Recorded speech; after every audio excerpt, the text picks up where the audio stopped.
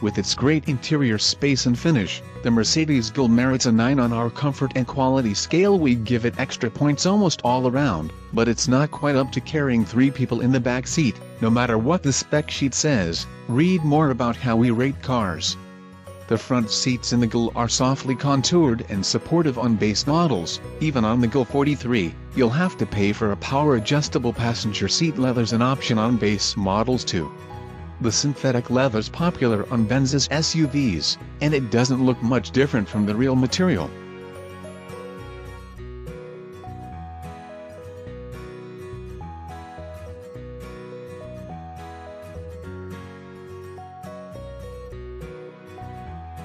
On AMG models, the bolsters grow thicker and the number of adjustment angles increases on all the driver and front passenger have all the head and leg room they need, and the consoles and door panels have plenty of small item storage the second row can't quite accommodate three adults across, but tall passengers will have no problem getting in and finding a comfortable seat. The rear seat backs recline for long distance comfort. There's space for taller adults in the second row too, although getting three across isn't completely comfortable,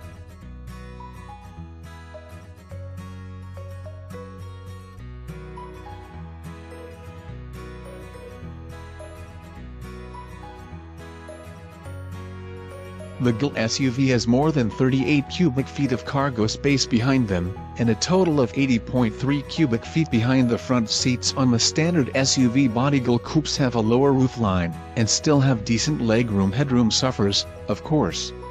Six-foot-tall backseat passengers will feel the pinch, or at least will make contact with the headline coupe models have 23 cubic feet of cargo space behind the second row, but still offer a pretty low, long, and wide flat cargo floor the space still has plenty of utility.